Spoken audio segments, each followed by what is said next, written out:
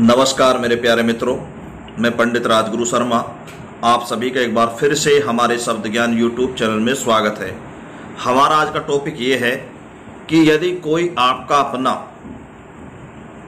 रुष्ट हो गया है और वो आपके मनाने में नहीं आ रहा है, चाहे वो किसी स्त्री का पति हो या फिर किसी पति की पत्नी हो, बेटी हो, बेटा हो माता हो, पिता हो, भाई हो, यदि आपका कोई भी अपना आपसे रुष्ट हो गया है, आपसे दुश्मनी करे बैठा है, आपसे शत्रुता करे बैठा है, आपसे बात करना नहीं चाहता है, आपको अपनी शकल नहीं दिखाना चाहता है और ना ही आपकी शकल देखना चाहता है।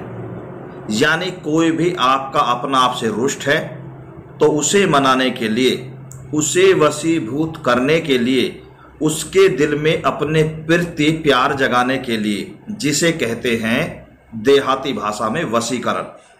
यानी उसका वसीकरण करने के लिए आपको बहुत ही सटीक और एक छोटा सा घरेलू उपाय आपको बता रहा हूँ, उसे आप करेंगे तो आपके अपने जो रुष्ट है, वो आपसे प्यार करने लगेंगे। तो आपको क्या करना है? इससे पहले मैं आपको बताना चाहता हूँ, यदि आपने अभी तक हमारे शब्द ज्ञान यूट्यूब चैनल को सब्सक्राइब नहीं किया है तो कर लीजिए, ताकि आपको हमारी आने वाली हर ज्ञान वर्धक ऑडियो वीडियो समय समय पर देखने के लिए मिलते रहे। तो दोस्तों, बात करते हैं, वो उपाय क्या है, जिससे हमारे अपने हमसे प्यार करने लगेंगे। तो आपको क्या करना है कि सोमवार के दिन आप नहा धोकर पूजा पाठ करें और शाम तक व्रत रखें। आप व्रत जब खोल लोगे पूजा पाठ कर लोगे शाम को, उसके बाद आपको क्या करना है? आपको दो चीज़ें लेनी है, एक घी कवार और दूसरा भाँग के बीज।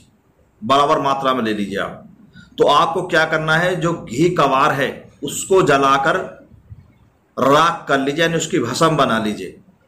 जब उसकी भसम बन जाए तो उसमें उतनी ही मात्रा में भाँग के बीजों को पीसकर उसमें मिला लीजिए। उसके बाद जब भी आप सुबह नहा धोकर पूजा पाठ करके उस तिलक को लगाकर जो आपसे रुष्ट है उसके सामने जाया करेंगे तो वो तो वो सात दिनों के अंदर आपसे प्यार करने लगेगा। आपके प्रति उसके मन में एक प्रेम की भावना जागने लगेगी। तो ये बहुत ही सटीक उपाय है।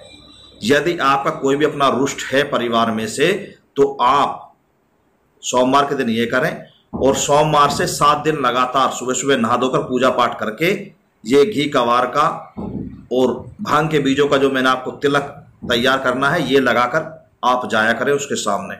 तो वो एक हफ़्ते के अंदर अंदर आपसे प्रेम करने लगेगा और आपके बीच में जो दुश्मनी लिए बैठा है, वो आपको प्रति दुश्मनी जो करे बैठा है, दिल में नफरत करे बैठा है, वो दूर हो जाएगी। लेकिन एक बात का आपको विशेष ध्यान रखना है कि मेरा उन व्यक्तियों से निवेदन है, जो व्यक्ति इस तिलक का दुरुपयोग करना चाहते हैं। यदि आप इस तिलक का दुरुपयोग करना चाहते हैं तो इसका असर नहीं होगा।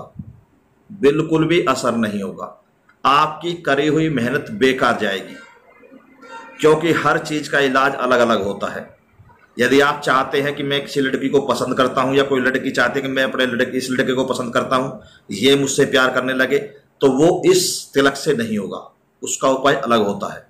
तो इसलिए ये सिर्फ़ परिवार के लिए है, अपनों के लिए है। अन्यथा कोई व्यक्ति इसका दुरुपयोग करता है तो उसका ये फार्मूला काम नहीं करेगा। हो सकता है कि उस पर उल्टा इसका बुरा प्रभाव पड़े। तो आपसे निवेदन है, पहले ही कल को आप हमें बुराई दे, हम पे उंगलियाँ उठाएँ तो आप ऐसा दुरुपयोग मत करना।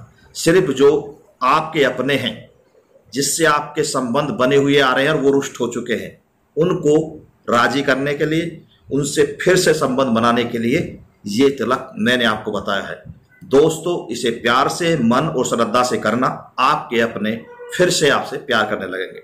और मैं आशा भी करता हूँ और आपके लिए कामना भी करूँगा, जिससे कोई अपना रुष्ट है, इस तिलक के माध्यम से वो उनसे प्यार करने लगे। तो दोस्तों, इसी के साथ मैं अपनी वाणी को देता हूँ विराम, और आप सभी को करता हूँ नमस्कार। फिर मिलूँगा नई ऑडियो वीडियो के साथ, जब तक के लिए आप सभी को जय हिंद जय भारत।